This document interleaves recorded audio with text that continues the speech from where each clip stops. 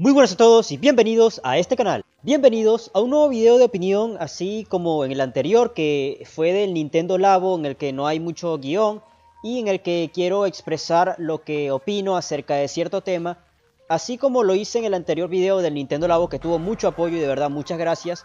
Se vio que les gustó bastante, así que bueno, aquí traje otro video en el que vamos a voy a dar mi opinión acerca de el tema que ha surgido estas, estos últimos días, esta misma semana que acaba de pasar, sobre los rumores del Metroid Prime 4 que está siendo desarrollado por Bandai Namco.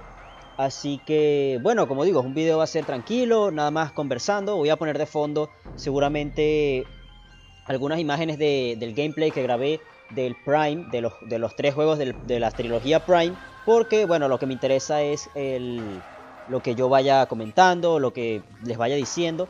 Y también seguramente algunas imágenes de la fuente del, rumor que, de este que surgió, que fue nada más y nada menos que de Eurogamer. Así que bueno, va a ser nada más dando mi opinión acerca de este rumor y de, bueno, cómo, cómo reaccionó las personas acerca de esto. Así que bueno, si alguien está esperando que, no sé, que venga aquí a confirmar un rumor o algo así, lo siento, este video no va de eso. Yo en ningún momento voy a traer un video que esté confirmando un rumor o inventándome cualquier cosa. Absolutamente nada de eso. Sino que voy a hablar de lo que me interesa. Así que bueno, vamos a comenzar. Que estoy aquí hablando demasiado. Este hombre se está yendo por las ramas. Así que bueno, ¿qué es este rumor de que estoy hablando de que Bandai Namco está produciendo supuestamente Metroid Prime 4? Recordemos que en el E3 del año pasado, del 2017, se anunció rápidamente, fue nada más un teaser donde se mostró el título, que Metroid Prime 4 estaba siendo desarrollado para Nintendo Switch. Y que bueno, Nintendo confirmó que Retro Studios,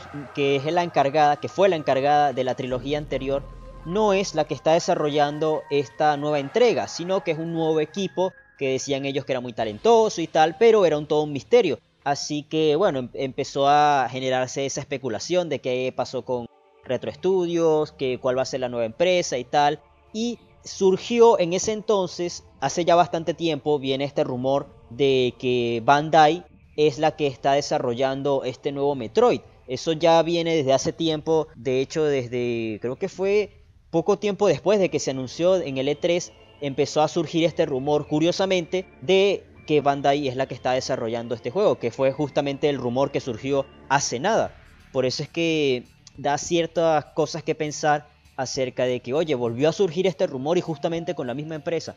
Pero bueno, ¿qué es este rumor del que estoy hablando que surgió hace unos, hace unos días? Me refiero a un post que publicó Eurogamer en su página web acerca de que ellos, según sus fuentes, confirmaban de que sí, efectivamente, Bandai estaba siendo la desarrolladora que estaba encargada de Metroid Prime 4 y específicamente Bandai Namco Singapur. Entonces, la noticia va básicamente de que, eh, según sus fuentes, de las cuales no dicen quiénes son, no, no dicen absolutamente nada, dicen que sí, que le han confirmado por todos lados que sí, que es Bandai la que lo está desarrollando y que el equipo está conformado por miembros de la antigua LucasArts Singapur que estaban encargados de un juego que se canceló de Star Wars que se llamaba Star Wars 1313 que se canceló ya hace un tiempo y que bueno, esta publicación donde ellos mismos confirman entre comillas que Bandai está desarrollando esto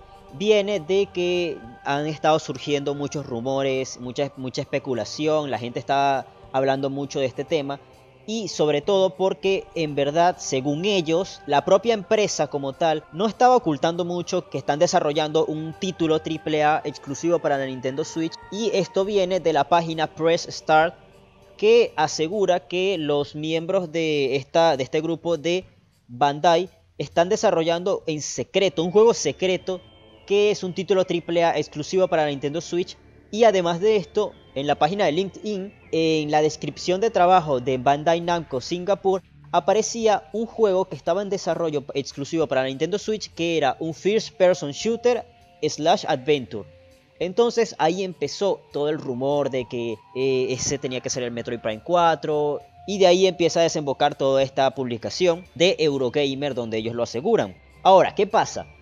Esta publicación fue hecha el 9 de febrero, hoy estamos a día 12, el día que lo estoy, estoy grabando este video. Y bueno, curiosamente, al día siguiente cambian la publicación. Bueno, al día siguiente, unas horas después, no, no se cumplió las 24 horas y la publicación cambió. Y resulta que ahora ya no es Bandai Singapur la que está desarrollando Metroid Prime 4, sino Bandai Japón. Entonces uno se queda como que, hey, ¿qué pasó aquí? O sea, primero me dices que es Singapur y ahora me dices que no, que es Japón. Entonces ahí la cosa empieza como que a oler mal y que no te den fuentes que según ellos le han confirmado. Entonces ahí la cosa empieza a oler mal. Pero bueno, la cosa es que la gente vio este rumor y ya empezó automáticamente a hablar de todo esto. Algunos empezaron a hablar bien, otros a hablar mal de, esta noticia, confirmándolo ya. Directamente confirmando que efectivamente es Bandai. Que yo no niego que sea Bandai, de hecho es muy muy probable que sea Bandai. Pero esto no deja de ser un rumor. Y la mayoría de las personas directamente ya entraron en el tren del hype. Y oye, ya estamos cayendo otra vez en lo que estaba hablando en el anterior video de, del Nintendo Labo, el tema de los rumores, de que la gente se los empieza a creer y después sacan sus propias conclusiones, se hypean y entonces ocurre el problema de que luego cuando no presentan lo que ellos esperaban, entonces empiezan los insultos. Así que bueno, yo personalmente pienso que no deberíamos llevarnos por este rumor, deberíamos llevar la cosa con calma y esperar un anuncio oficial porque no es más que un rumor por más de que ellos digan que sí, que lo están asegurando, que tienen sus fuentes, al final no sabemos nada de esas fuentes. Entonces, al final es información que no está verificada, no tenemos cómo verificarla. Y puede que en verdad sea una confusión, que sea un rumor simplemente y ahí es donde quede la cosa. Entonces no podemos estar llevándonos siempre por el rumor de que no, porque ellos han acertado en tal cosa, que han fallado en tal cosa. Son rumores, son rumores nada más y no podemos llevarnos por ellos. Ahora, fuera de este tema, vamos a suponer en un hipotético caso en el que sea real este rumor de que Bandai esté desarrollando a de que esté desarrollando Metroid Prime 4, vamos a suponer que esto sí sea real. ¿Qué pienso yo de esto? ¿Qué me parece de que no sea Retro Studios, sino de que es ahora Bandai u otra empresa, independientemente de, de la empresa que sea? ¿Qué me parece? Bueno, que es a lo que yo quería llegar. ¿Qué me parece? Bueno, personalmente yo no tengo ningún inconveniente con que sea Bandai la que esté desarrollando Metroid Prime 4 en un hipotético caso, estamos hablando de un hipotético caso, ya que no lo estoy confirmando ni nada de eso, yo no creo en este rumor, es muy probable, pero yo no quiero basarme en este rumor, no creo en este, pero en un hipotético caso, ¿qué me parece? A mí no me parece mal. Bandai es una empresa con experiencia que sabe lo que hace y es un proyecto que está supervisado por Nintendo y evidentemente Nintendo no va a dejar morir una, una, IP importante para ellos. Ellos van a estar supervisándolo de que todo esté según sus estándares de calidad. Yo no tengo miedo en que vayan a hacer un juego de mala calidad. Porque, bueno, como digo, Bandai es una empresa que tiene experiencia, ya ha trabajado antes con Nintendo. Recordemos que Bandai ha trabajado hace poco en lo que es Pokémon, el juego de, de pelea de Pokémon que está en Nintendo Wii U y en Nintendo Switch el, port, el Pokémon, Pokémon Tournament DX. Y también trabajó, eh, estoy hablando de los proyectos más, más, más, recientes de Nintendo, en los que trabajaron en conjunto también. Eh, Bandai trabajó en el Smash 4, el Smash de Switch y de 3DS, así que tampoco es que Nintendo se lleve mal con Bandai y no hacen un mal trabajo. Así que en esa parte, en ese apartado técnico, yo no tengo ningún miedo acerca de que lo haga Bandai, ni ninguna otra empresa. En verdad, a mí no me interesa si lo hace Retro Studios, si lo hace Bandai, quién lo haga, si lo hace Nintendo, no me interesa. A mí no me interesa absolutamente nada de eso. Simplemente a mí lo que me importa es que el resultado final sea favorable, de que haga un juego en condiciones que esté a la altura de lo que se promete, de lo que se promete o de lo que se mostró en otras entregas anteriores. Yo quiero un juego que esté a la altura. Así que a mí personalmente no me interesa lo que la empresa que lo haga, simplemente yo juzgaré el juego cuando lo vea, cuando salga, cuando se pueda jugar. Entonces ahí es cuando verdaderamente podremos juzgar si la empresa hizo bien su trabajo o no.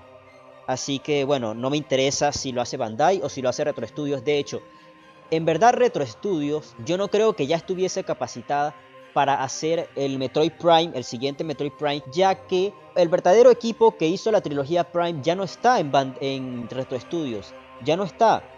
Ya todos se separaron cada uno por su lado, algunos formaron una empresa aparte, entonces ese equipo principal que creó la trilogía Prime ya no está para crear una nueva entrega que uno pueda decir que bueno, van a traer la esencia de los originales porque son el mismo equipo, ya no son el mismo equipo, o sea, aunque sea la misma empresa, ya no es el mismo equipo, entonces quizás es lo más acertado el darle la IP a una nueva empresa para que pueda crear esta nueva entrega, que de por sí se supone que tendrá otra un enfoque distinto, ya que como tal la historia de la trilogía ya cortó en el 3 o es lo que se supone, se, supone entre comillas, porque no, no lo sé, no lo sé, simplemente son especulaciones mías, pero eh, es lo que digo, a mí yo en verdad pienso que está bien que no se lo hayan dado a Retro Studios e inclusive hace poco le dieron una hicieron una entrevista a un miembro del equipo de la, de la trilogía Prime que estuvo en Retro Studios y bueno, él decía que que bueno, que no estaba mal, él no veía mal que que le dieran la IP a una nueva empresa porque quizás era lo mejor, ya que en Retro Studios cuando hicieron la trilogía Prime hubo muchos problemas al hacerlo, hubo muchos errores. Entonces él ve que, bueno, que quizás dárselo a una empresa diferente le dé un aire fresco a esta subsaga de Metroid. Aunque sí es cierto que también dijo que como que de cierta forma se sintió un poco herido porque ya no era una IP de Retro Studios y él lo sentía como si fuese algo parte de, esa empresa, de esa compañía, bueno, de, ese pequeño estudio. Así que, bueno, es lo que hay. Las cosas cambian. A veces hay que darle los proyectos a un nuevo equipo. Y pese a todo, luego pensó bien la cosa, que es lo que él dice, que luego pensó bien eh, la situación. Y fue cuando dijo que, bueno, que lo veía bien, que está, está bien que se lo dieran a otra empresa.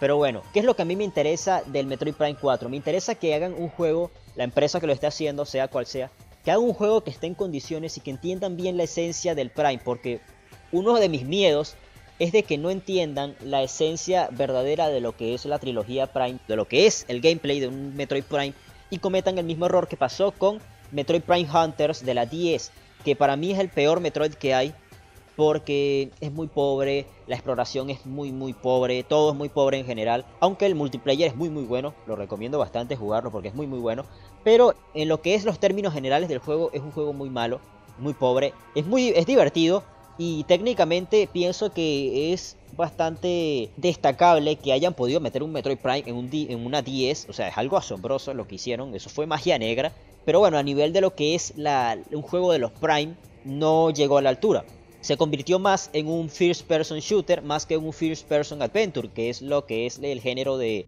los Prime.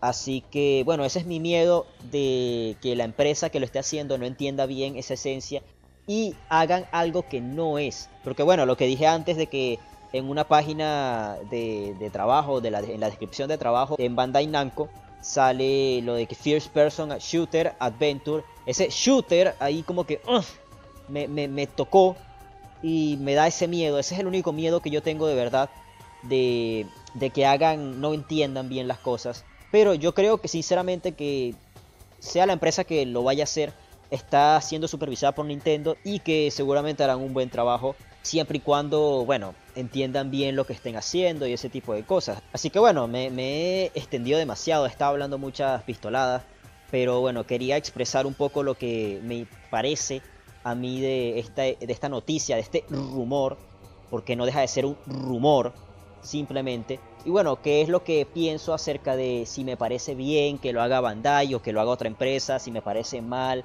cómo yo lo veo? Yo lo veo bien, no tengo ningún inconveniente con eso y no nos dejemos influenciar por los rumores. Es un rumor nada más, no hay por qué darle demasiada importancia hay que, bueno, no está de más verlo, porque es muy probable, la verdad es que es muy muy probable, ya que no es la primera vez que Bandai sale a flote en, en, este tema, pero bueno, no deja de ser un rumor y no hay que sacar conclusiones antes de tiempo. Es mejor esperar un pronunciamiento oficial de Nintendo que estar ya sacando conclusiones, hablando bien o mal del juego y empezar a hypearnos, porque señores, eso es malo. Eso es malo. O sea, no es malo hypearse, pero es malo cuando lo haces en exceso y luego te pones las expectativas demasiado arriba y después te caes, porque después te vas a caer. Es muy difícil que un juego alcance las expectativas de alguien que se las pone demasiado altas.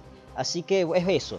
Lo veo todo muy bien, ok, me parece excelente, pero no nos dejemos llevar por los rumores. Así que bueno, esta es mi opinión acerca de este tema. Tienen aquí abajo en la descripción la fuente oficial de Eurogamer, donde se publicó este post. Y voy a ver si también consigo la fuente de la, de la entrevista que le hicieron a uno de los miembros del equipo antiguo de, de la trilogía Prime de Retro Studios y lo voy a dejar aquí también en la descripción para que tengan ahí la fuente oficial de, de donde estoy sacando todo lo que estoy hablando. Así que bueno, nada más espero que les haya gustado esta pequeña charla que he tenido aquí hablando de lo que me parece todo esto. Y bueno, me gustaría que dejaran en comentarios qué les parece a ustedes esta noticia, este rumor, qué les parece que otra empresa esté haciendo el Metroid Prime 4 y también si les gusta estos videos que son más tranquilos, más hablar acerca de lo que opino y así ayudarme a saber qué les gusta y traer más seguido este tipo de contenido. Así que muchísimas gracias por haber llegado hasta aquí. No olvides dejar un buen like si el video te ha gustado y nos vemos en la siguiente con más. Chao.